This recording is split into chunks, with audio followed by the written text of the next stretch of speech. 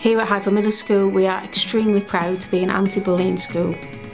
Ever since I realised I wanted to be a teacher, one of the main reasons for that was because I wanted to address bullying within schools.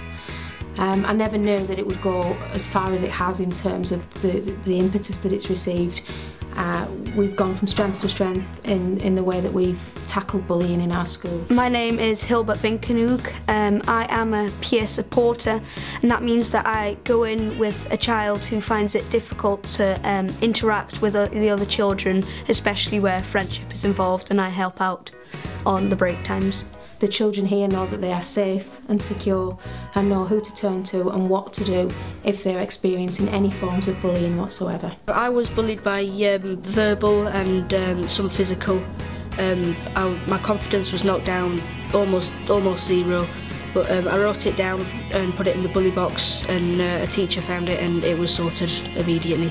If you're being bullied you can report it by putting a note in the bully box.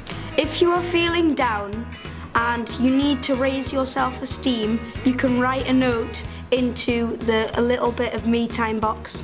If you've done something you regret, then you can put it in the sorry box. Highfield was one of the first schools to take on the anti-bullying accreditation system. I'm really proud of what they've done. They've They've been unflinching, they have taken this on board, they've created systems which have been taken on not just in this area but throughout the county and now throughout the country. I was bullied from about the age of 14. Um, mainly for not not so much for any particular reason but the isolation that I felt and the loneliness that I felt in not being able to turn to anybody or not know how to tackle it was something that I still can feel today one of the reasons why I became the anti-bullying schools coordinator was because I knew that that was still, if not worse, in today's society, especially with the new forms of bullying, particularly cyberbullying that's happening all around us today.